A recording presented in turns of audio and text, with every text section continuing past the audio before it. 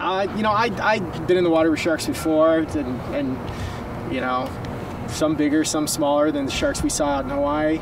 So it was it was cool. It's always cool to see sharks up close. Um, you know, I'm getting more and more comfortable being in the water with sharks, and I think the next time, you know, we'd probably do it without a cage. Uh, I just don't think you have much to worry Don't about. let your arm or leg go in between the cage and the boat. Be careful getting in and out. So this is how you do it. You have your mast set before you go over the side, and we're gonna help you with that.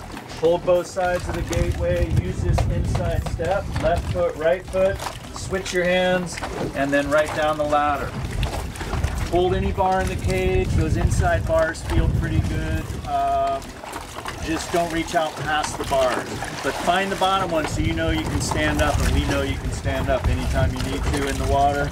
If the sharks come through the two big gaps in the side, just everybody hold your hands up together. Should keep them coming in this time. Like what?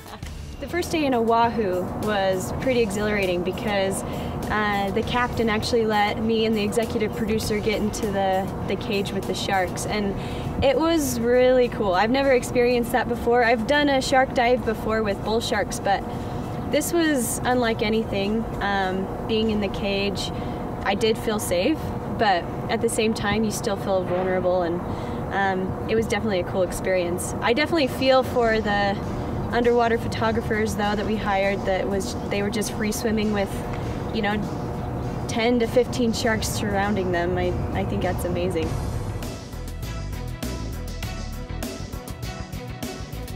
So I'd never seen that many sharks in my life.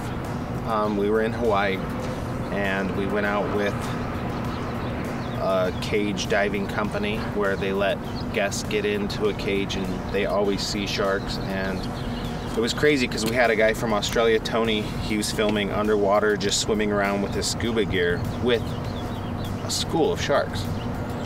And uh, I'm on the follow boat, and we're filming them doing this and seeing the sharks. And you know, all of a sudden, the guy that's the skipper on our boat's like, "I'm gonna take a dive in," and I'm like, "Are you serious?" And he's like, "Yeah." And I had a I had a GoPro on a pole cam that I was using, and I'm like, "Will you take this with you?" And he's like, sure. So he just jumps in with just scu- scuba gear, not even a tank or anything, just goes and swims with the sharks.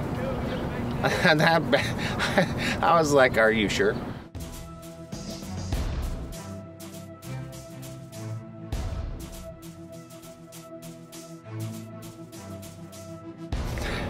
So they told us in Hawaii that they only let people swim with them out in the open after they've been in the cage a few times because the shark sensory can tell if your heart rate goes up or although they'll know if you're nervous so they make you get calm with them first before you can swim in open water Wow, that was one of the coolest things I've How, ever done. so how many how many you think are down there?